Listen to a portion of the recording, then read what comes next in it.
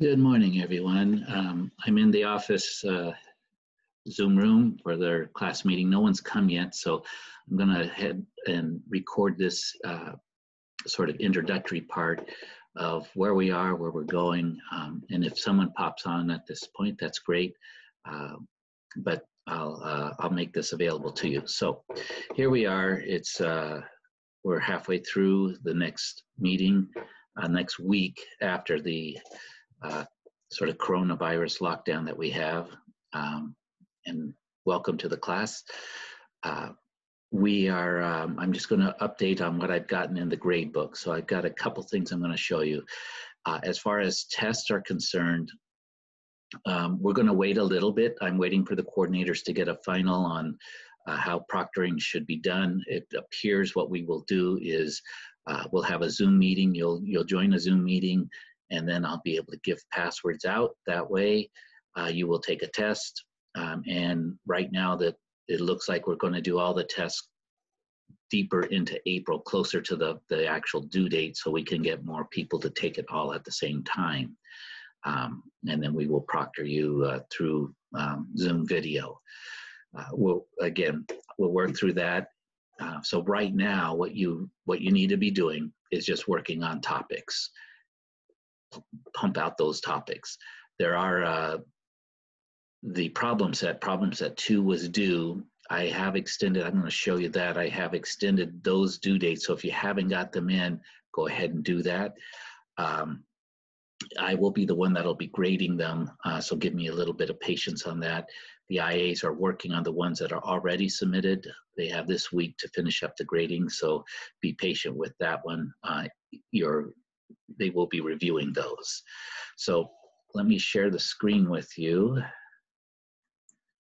Let's see, it's this one over here. So this is our uh, Canvas course. I'm in student view right now, so this should be the same thing that you see. Um, notice that we just have the two problem sets. I'll, I'll put problem set three up in a little bit for those that are ready for it. Uh, but I'm just going to click on this. Here's the instructions. Notice it is available until the 27th. It was due on the 19th, and that's what I'll work with with the IAs. Anything after those days, I will personally grade. I I just want you to be able to do them, and I know that um, many of you have been uh, traveling, trying to get home, or uh, trying to get to a safe place. So this has been a uh, a wild time, couple weeks for for all of us, unexpected. So we will make um, we will make adjustments here. So um, the PDF is here. Now you don't have to, if you don't have a printer, you don't have to print it off. You could just pull it up from the screen, write it on a piece of paper, um, or if you've got a tablet, um, you know, put it on an iPad or tablet, uh, and then upload the file. Just show us your work and your answers okay, or so, however you do it, and then uh, re re-upload it as a PDF. Um, and, and just let me know if you're having any issues. We want you to be able to do it. Secondly, I want to show you, I, I updated uh, the grade book, and this is kind of what I'm going to ask you to do. I, I know many of you are still working and you still have other things. Uh, if you go into your grade book, click on grades, this is student grade book. Um, it, it may have it arranged by due date or module or what I want you to do is click on assignment group and click apply. That organizes the gradebook so that the things I'm going to talk about right now are all at the bottom. Otherwise, they're kind of scattered. I, you know, because they, it's anyway. This is what we want you to do. So it's down at the bottom here that's of interest. You've got your cohort number. Uh, you've got the total topics that you've done so far. Um, this is the student, and I these are kind of numbers. I'm at 225. Is about where you should be, maybe a little bit higher. If you're below that, then you know again, this is a time to work and get your topics up there. There's topics per hour. Now, some of you have a blank here because uh, this is uh, topics per hour since the last knowledge check. So if you just had a knowledge check, it might not have had time to recalculate this. But what I do with this is this number helps you to know, notice how many hours you would have left at that rate. So I'm working at 3.5 hour topics per hour at that rate with what I have left, 145 to do, it's going to take me 41.4 hours. Um, now, could, you know, if I pick up speed, it could take me less, but that's, you know, that's a one week full-time job. Um, I wouldn't want you to just sit for 40 hours and do it, but but it gives you an idea. If this number is high, what you're going to want to do is is work to be a little bit more efficient as you work through things and try to get more topics done um, quickly. And again, learning happens as it happens. But look at your situation. Can you? Um, I know I, I kind of fidget a lot. I go get a snack. I do this. I do that. Um, and but when I focus, I can get things done.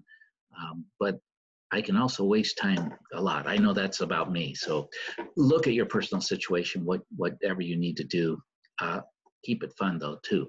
So the other thing I've got is I've got a, a sort of a goal of trying to get done by April 17th. That's two weeks early. So the other topic goals uh, may or may not get you there.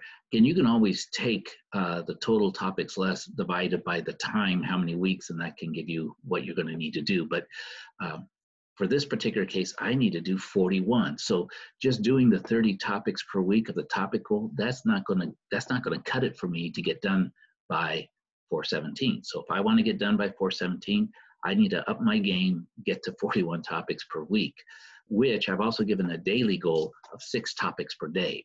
And again, it's it's all rounded um, without partial topics. But uh, so if I focus on, and that's kind of what I'd like you to do now is, especially if you're uh, like me and you're um, kind of on lockdown, not, you know, I'm not leaving the house. I'm here um, pretty 24 hours a day. I go outside, but fortunately we have a backyard.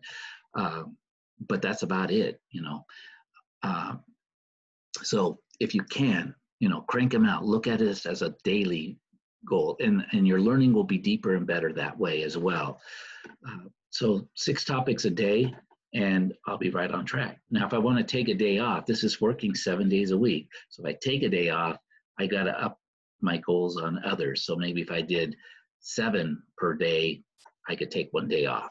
Or i could do eight a day and take maybe two days off you know whatever however you want to look at that. Yeah so five goes into 40 about eight times. So that would do it do a five day work week. Um, however you want to play with it, but I, I just want these numbers here and I want you to focus on just doing topics. Crank out those topics. Come during office hours, come during the um, the class, the scheduled class time where I'm in Zoom, because then we can I can pull up topics and give you some give you some assistance. Um, you don't have to be present in those times, but you need to be working on topics. And I know that we're now spread out over many different time zones.